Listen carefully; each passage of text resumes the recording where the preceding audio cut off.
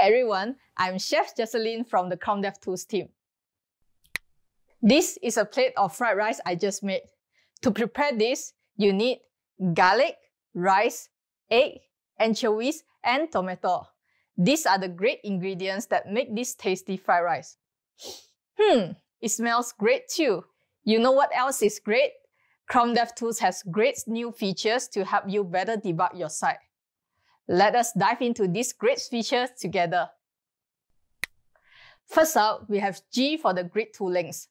DevTools now finally has better support for CSS grid debugging. Yes! Say you have a grid with three defined areas, banner, sidebar, and content. Here is how the page looks like. In the Elements panel, notice that there is a new grid badge added next to the grid element. Click on that to toggle the grid overlay and line numbers. You can customize the overlay further in the new layout pane. For example, you can hide the line labels, view the area names, or extend the grid lines for better debugging. You can even change the color of the overlay.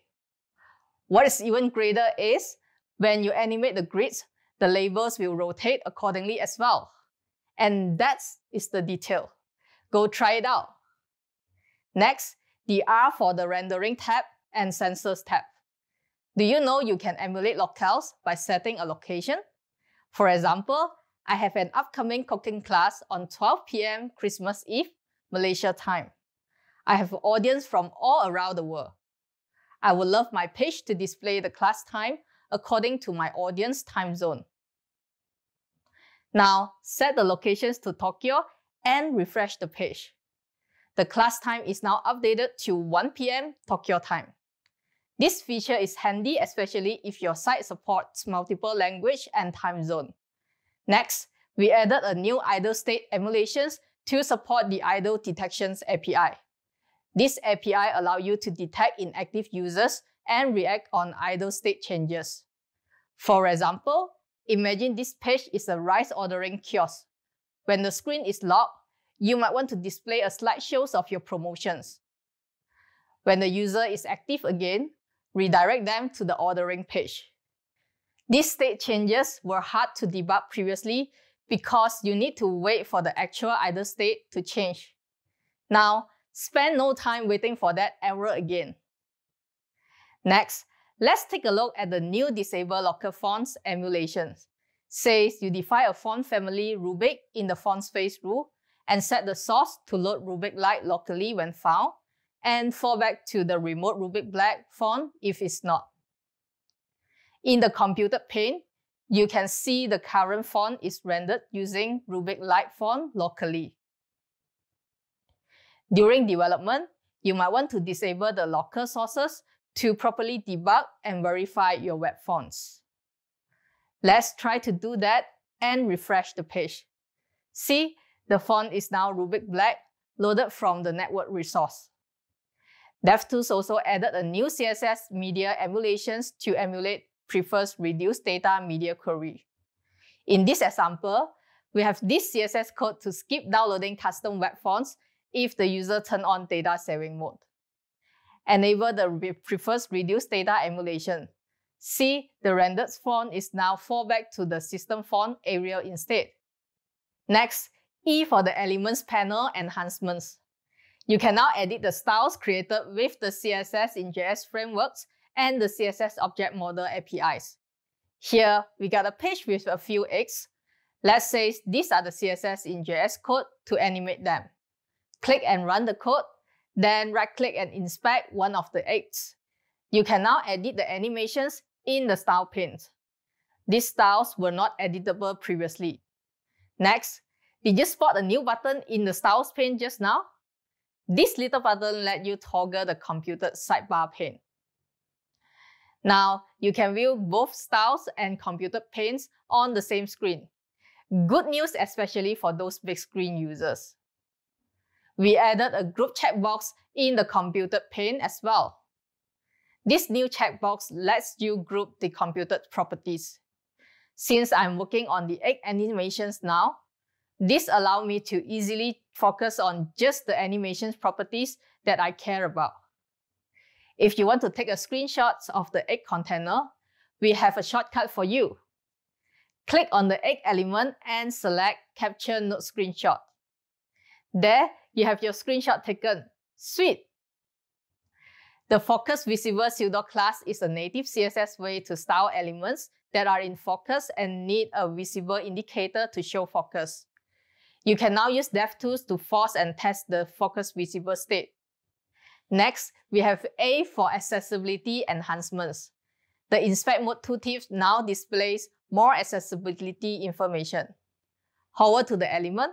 The Inspect Mode tooltips indicates whether the element has an accessible name, role, and whether it is keyboard focusable. Use the new Emulate Vision Deficiencies feature to get a better idea of how people with different type of vision deficiencies experience your site. DevTools can emulate blurred visions and four different types of vision deficiencies. For example, protanopia is the inability to perceive red and green color.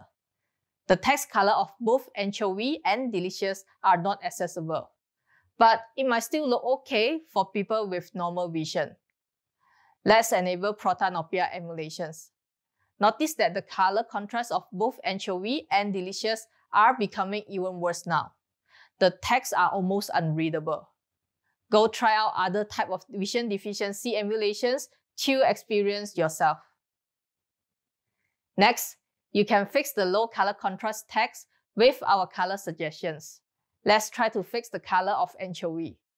Select the element, open the color picker in the style pane. Expand the contrast ratio section here, we provide AA and AAA color suggestions.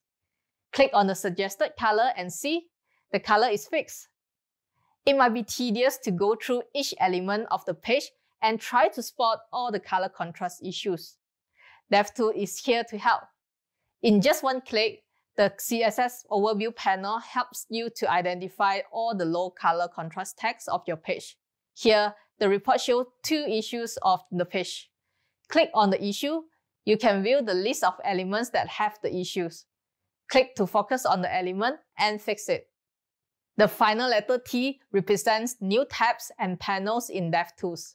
Have you ever seen a console full of browsers warnings and you have no clue on how to fix it? The New Issues tab aims to improve that. Open the console, a message will be shown if your site has issues. Click on View Issues to open the Issues tab.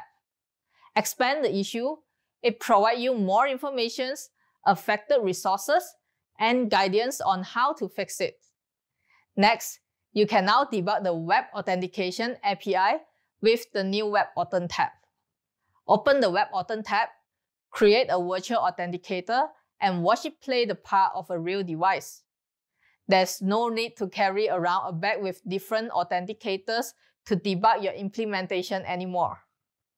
DevTools now support moving tools between the top and the bottom panel. This way, you can view any two tools at once. For example, if you would like to view the elements and the CSS overview panel together, you can right-click on the CSS overview panel and select Move to Bottom to move it to the bottom. This way, it's easier for you to view, focus on an element, and edit it without switching context. Last one, use the new media panel to view and debug media player information. Here, I have a page with a video player. Play the video and open the timeline pane.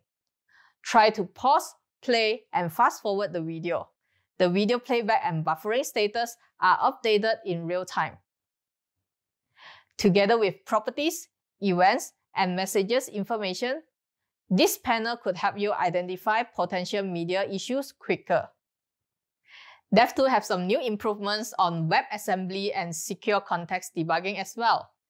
Check out the talks by Ingvar and Camille for that. Phew, that's all. Remember to try out these great new features. Every six weeks, I will publish the What's New in DevTools post and video. Don't miss the updates. Follow us on Twitter and YouTube. Thanks for watching. See ya. I'm going to enjoy my great fried rice now. Oh, do you know we have an engineering blog? Go to this link to find out more.